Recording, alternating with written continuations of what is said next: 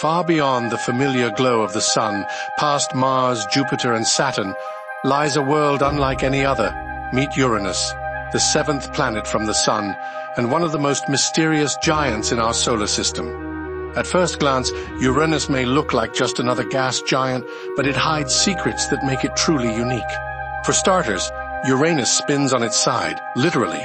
Its axis is tilted at a mind-boggling 98 degrees, making it roll around the sun like a barrel. This strange tilt causes extreme seasons.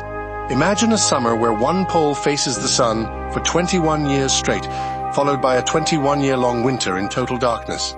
Despite its calm appearance, Uranus has powerful storms and winds that can reach speeds of up to 900 kilometers per h. And it's incredibly cold, with temperatures dropping as low as minus 224 degrees Celsius.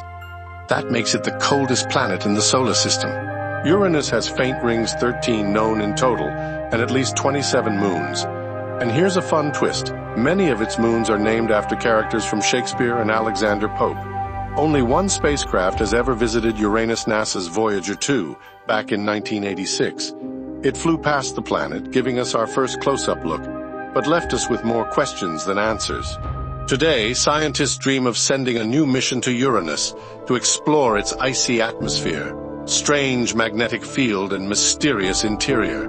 Because somewhere in that pale blue giant are clues to how planets and maybe even life formed in our solar system. Uranus may be distant and cold, but its story is just beginning, a tilted world waiting to be understood. you